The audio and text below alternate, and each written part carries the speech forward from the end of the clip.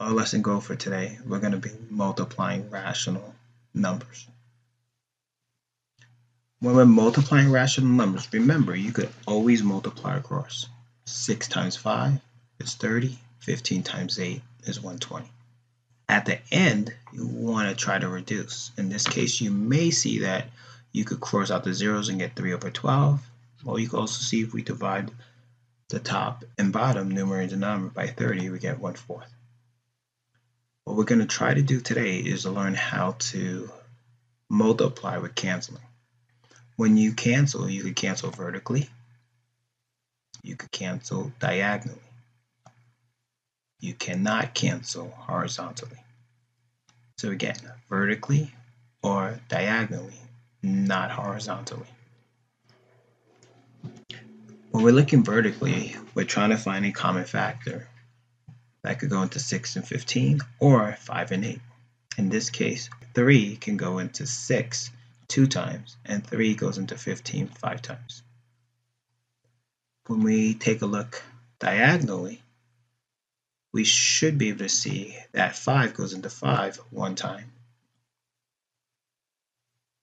and 2 goes into 2 one time and 2 goes into 8 four times, leaving us with 1 times 1 over 1 times 4, which is 1 fourth. Our learning objective is, by the end of this lesson, I will be able to multiply fractions with canceling. Our such a question is, how does knowing your math facts help in reducing fractions and finding the GCF and the LCM of two numbers? When you multiply two fractions, you simply need to multiply the numerator, the tops, and you multiply the denominator, the bottoms, but don't forget to reduce. So let's take a look at 1 fifth, meaning we have one part, one shaded part, and a total of five parts, times 3 fourths, meaning we have three shaded parts and a total of four parts. Our answer will be the overlapping area or the double shaded region. So we have three sections that are overlapping or double shading. We have a total of 20 parts. Let's take a look at a different model. 3 times 3 fourths. Remember, we want to put a 1 underneath it and multiply numerators times denominators. 3 times 3 is 9. 1 times 4 is 4. When we see this, it says 3 3 fourths. That means we have 3 fourths 3 times. If we try to move these around, I can move this piece over here, this other piece over here, leaving me with one piece. So we can see that this is two wholes and one fourth. So again, remember your dividend is your numerator, your divisor is your denominator, and when we simplify our divide, we get our quotient. So in this case, when we do this, 4 goes to the 9 two times, 2 times 4 is 8, 9 minus 8 is 1. Remember, we want to put our remainder over our divisor, and we get 2 and a quarter. You should start the Delta Math multiplying fractions area model problems now. Multiplying rational numbers. Remember, canceling makes it easier. Remember, we could cancel vertically or diagonally. You cannot cancel horizontally. So in this case, we know 2 could go into 8 four times, and 2 goes into 6 three times. 9 and 5 do not have any common factors, nor does 4 and 9 or 5 and 3. So we now multiply across. 4 times 5 is 20 and 9 times 3 is 27. Let's take a look at this one. In this case, we know that 3 can go into 15 5 times and 3 goes into 9 3 times. 4 can go into 8 twice and 4 goes into 28 7 times. We have 5 times 2 over 7 times 3, which is 10 over 21. Another way to take a look at this one, we can say 3 goes into 15 5 times, and 3 goes into 9 3 times.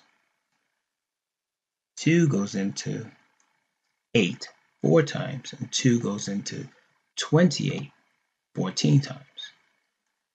But then we may want to cancel again because 4 and 14 are both even. Therefore, 2 goes into 14 seven times and 2 goes into 4 two times. This still gives us the 5 times 2 over 7 times 3, which is 10 over 21. You may want to pause the video and try this one on your own.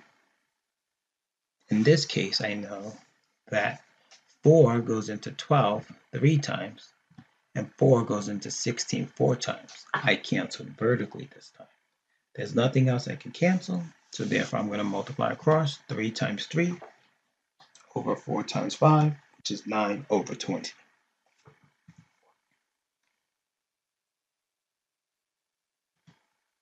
Next problem. On this particular one, we should be able to see that 7 goes into 14 twice and 7 goes into 7 one time. Then we can see when we cancel diagonally with this denominator and this numerator, 3 goes into 3 one time and 3 goes into 18 six times. One more time, we have two even numbers, 2 and 6. So 2 goes into 2 one time and 2 goes into 6 three times. There's nothing more we can cancel, so we have 1 times 1 over 3 times 1, which is 1 third. Remember, if canceling is causing some issues, please do not forget you will always get partial and even full credit if you just multiply across. 6 times 5 over 15 times 8, which is 30 over 120. And if you don't see how to cancel, we'll be working on this in class but you may try to reduce at this point, but you can always multiply across to get credit. And this concludes sixth grade lesson on multiplying rational numbers. If you're in seventh grade, we are going to continue. In this particular case, we have a negative rational times a positive rational. And we will still have to use the multiplying the dividing integer rules. We can see we have a negative times a positive, which will give us a negative. In this case, just write down your equals and negative and multiply the same way you would if it did not have a negative. 3 goes into 12 four times. I'm going to cancel. And 3 goes into 9 three times. 5 goes into 5 one time, and 5 goes into 24 times. But then we see we have a 4 over 4, so 4 goes into 4 one time, 4 goes into 4 one time. And we can multiply 1 times 1 over 1 times 3, which will give us a negative 1 third. Remember, when we see parentheses, that means multiplication. In this particular case, we see we have a negative and a negative. And remember, a negative times a negative is a positive when we look at the rule. A negative times a negative is a positive. And we're going to multiply and pretend like we don't have negative because we know that we have one negative times another negative, which is positive.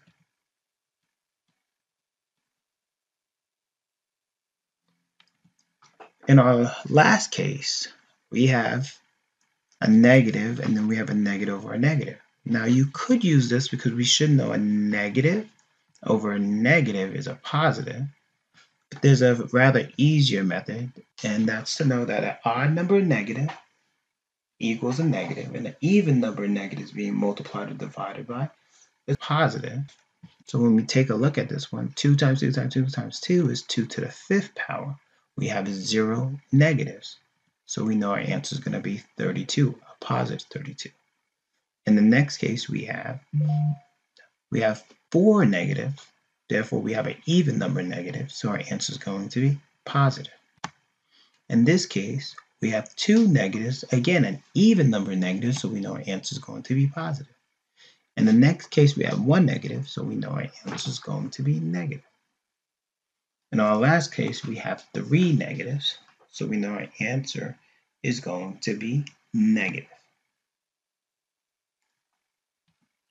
When I take a look at this one, I can see I have one, two, three negatives. This means we have an odd number of negatives being multiplied or divided by. Therefore, our answer will be negative.